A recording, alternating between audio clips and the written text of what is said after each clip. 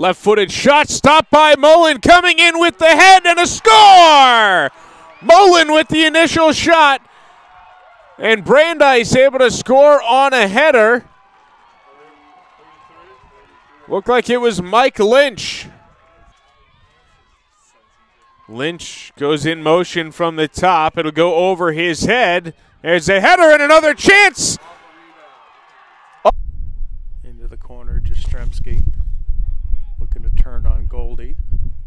Sends it low, tipped, a score!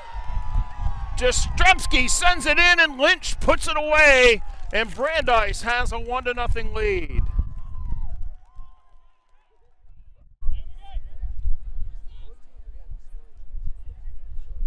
Osell chips it across. Down low, banged into the net again by Lynch. Osell to take it. Comes all the way through and scored! Handler! Line. Lynch now gets it back out for Osell. Left wing for Handler, across, headed up and down low, score! Josh Osell! And it's four to one.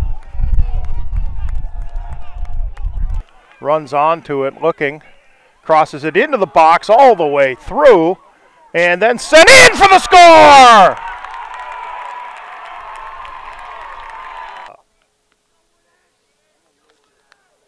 He also has eight goals. Osell, who just was stopped, is the leading scorer for Brandeis with five.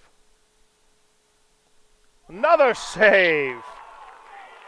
And that is huge. Amherst needs this one. Oh, off the goaltender's hand and the post!